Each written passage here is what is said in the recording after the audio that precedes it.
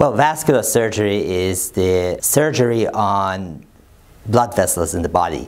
And that includes arteries, veins, and in some certain uh, circumstances, the lymphatic vessels.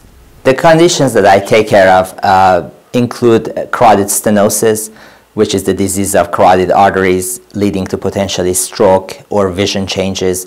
I do take care of them by uh, endarterectomy, which involves opening the artery and cleaning it from the inside and closing it with a patch.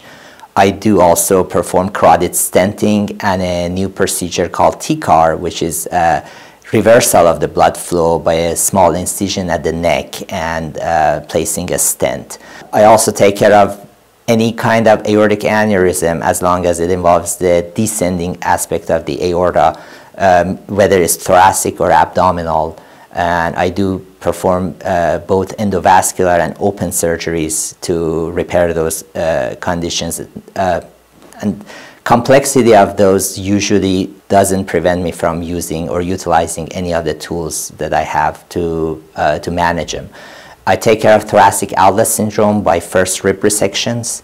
I take care of any kind of arterial insufficiency, whether it is to the upper or lower extremities or to any of the organs such as kidneys or the bowel by performing either endovascular stenting or angioplasty, opening the arteries from inside, or by open bypasses.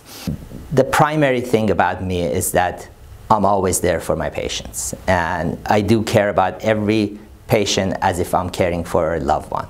I want my patients to feel that sort of a old school primary practitioner that they know and they develop a relationship with and that's that's how I want to portray myself.